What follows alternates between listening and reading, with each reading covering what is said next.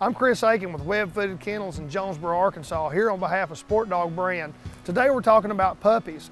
And the first thing we've got to decide, male or female. Now, one topic I want to bring up with your females is that they're going to have a heat cycle every six months, starting about when they become six months old. Now, during that time, we're going to actually be having uh, blood dripping, and if you keep them in the house, definitely something to think about if you don't have them spayed. Another thing we need to talk about is during that heat cycle, may actually hit during hunting season.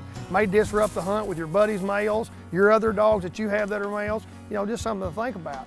With a female, disposition, personality, a little bit sweeter, a little bit easier to deal with, uh, a little calmer. If you have, you know, ch small children, other family members at the house, just seems like they work out a little bit better.